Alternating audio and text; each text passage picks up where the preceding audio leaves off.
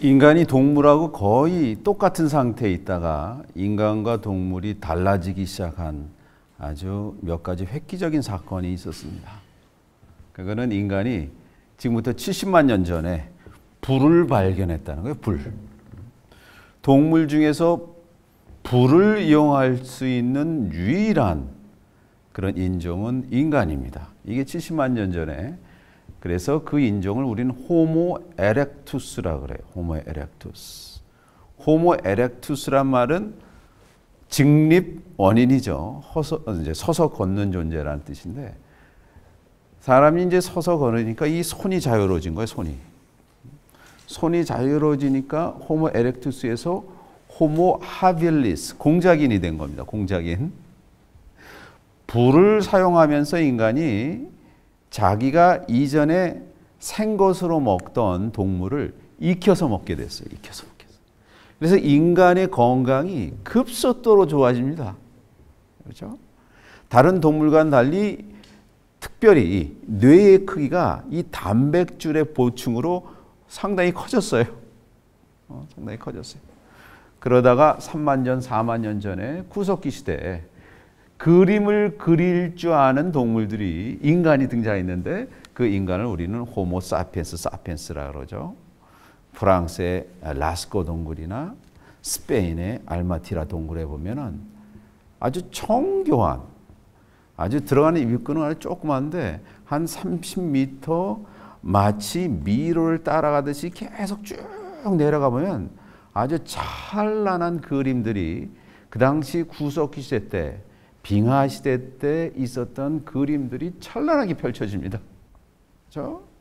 인간이 처음으로 그렇죠? 다른 동물과는 달리 사물을 관찰하게 됐다는 거예요. 이게 관찰. 다른 것에 대한 관심이 시작됐다는 거예요. 이것이 인간과 동물의 차이점입니다. 강아지는 자기만한테 관심이 있어요. 먹을 거 달라고 주인한테 가는 거지. 몇몇 특별한 강아지가 주인을 지키기도 하고 그렇지만 되게 배고프면 그거 달라고 주인한테 다는데 인간은 뭐냐? 다른 걸 관찰하고 주의에 대한 의식을 할 수 있는 표현을 갖게 되었다. 이거를 소위 말하면 예술이라 합니다. 예술. 그러면서 이것은 단순한 예술 작품이 아니라 종교 의식이었다는 것이 학자들의 일반 의견입니다. 그래서 이제 빙하기가 끝나고 기원전 만년 전에 지금부터 이제 신석기 시대가 도래하면서 사람이 처음으로 농업을 발견하게 되고 길게 제가 설명할 수는 없지만 인류가 최초로 남과 소통할 수 있는 시스템, 공적으로 시스템을 만들었는데 그것이 뭐냐? 문자입니다. 문자. 문자는 뭐냐? 남들과 약속인 거야. 그렇죠? 오케이. 대한민국 6천만 명은 한글을 우리의 소통의 체계로 한다. 이걸 지키고자 하는 마음, 소통하고자 하는 마음이 빚어낸 최고의 문화 상품이 바로 뭐냐? 이게 문자라는 겁니다. 문자. 그리고 문자가 소통되는 가상적인 공간을 뭐라 그러냐? 도시라 그런다. 도시. 그래서 우리가 문명이라고 그러면 시블라이제이션 하면은 반드시 들어야 되는 것이 바로 이 문자와 도시인 겁니다. 이것이 이집트에서는 기원전 3100년 그 전까지는 글자를 한 번도 쓰지 못했어요. 낙서만 했지. 낙서하고 문자는 다른 거예요. 낙서는 자기 혼자 쓰는 거고 이전에 돌에 그린 글자들도 있어. 이걸 페트로그래프라 그랬는데 그런 세계 어디 다 빙하기 시대도 이거 다 발견됐지만 문자 한 도시가 집중적으로 소통의 체계로 등장하는 그거는 이집트에서 3100년 처음 등장한 거예요. 이거는 엄청난 인간의 문명이 이렇게 가다 갑자기 뛴 거예요, 문자가. 기원전 3100년. 그것이 메소포타미아는 200년이 앞섭니다. 기원전 3300년. 그렇죠? 그리고 현재 이란 여기를 엘람이라고 그랬는데 여기서는 기원전 3100년에 등장해. 세계 어디서도 이런 문자가 등장한 적이 없었어요. 그래서 이쪽 지역을 문명이 맨 처음 시작된 지역이라 그래서 이것을 비옥한 초승달 지역이라고 한다. 그러니까 fertile crescent라는 거죠. 이게 아, 시카고 대학의 유명한 이집트 고고학자인 제임스 헨리 브레스티드가 만들어내는 용어입니다. 비옥한 초승달.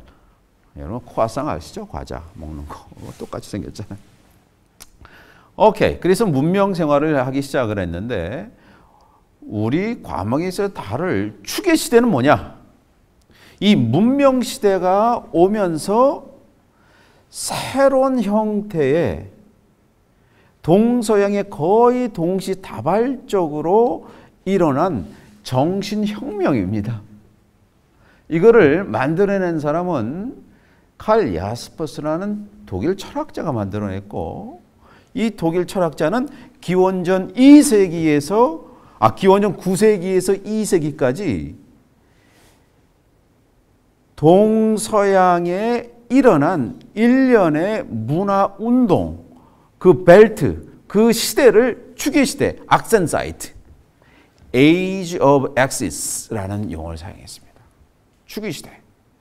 이 추구 시대 동서양에 일어난 이 추계 시대는 그리스와 이스라엘과 인도와 이란과 중국에 일어났는데 여기에는 모두 다 뭐를 갖고 있느냐? 아주 오랫동안 구석기 시대 때, 신석기 시대 때 인간이 구전으로 전해 내려오던 정수 같은 얘기를 모은 책들이 등장합니다. 그렇죠? 이런 책들을 뭐라 그러냐? 그런 책들을 우리는 경전이라고 한다 이거죠. 경전. 그렇죠. 이 경전이란 말이 보세요. 이 실사자를 쓰고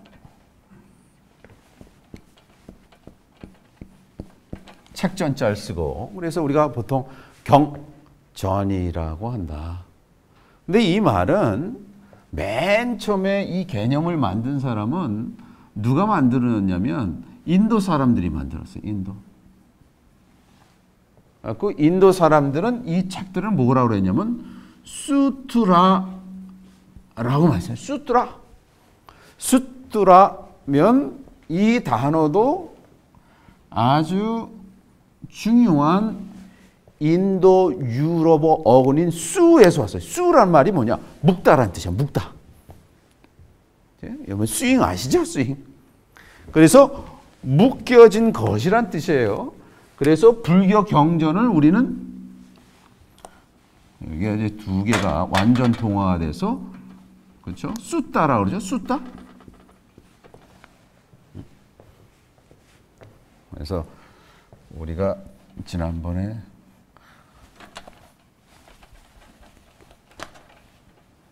그러니까 이 수트라가 중국어로 번역되면서 이게 경전이다. 그래서 이 묶는다는 것 때문에 여기에 이 실사자가 들어갔다 이렇게 했어요. 실사자가.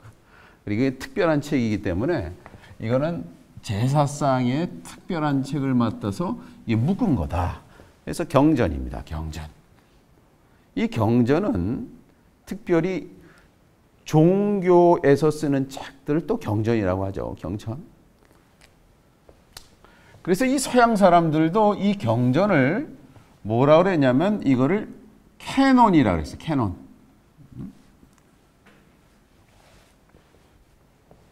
이 canon이란 말이 무슨 뜻이냐면 원래는 자란 뜻입니다. 자, 자란 뜻이. 그래서 여러분 캐논 하면 그죠? 디지털 카메라 생각나시죠? 캐논. 그 디지털 카메라 그런 거 아니고 이 canon은 사실은 그리스에서 일련의 기준이 되는 삶을 통찰할 수 있는 기준이 되는 예술이나 책 이런 것들을 canon이라 그랬어요. 그래서 그리스어로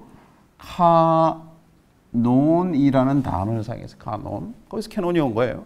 그런데 이 그리스의 그 단어가 사실은 히브리어에서 왔어요. 히브리어.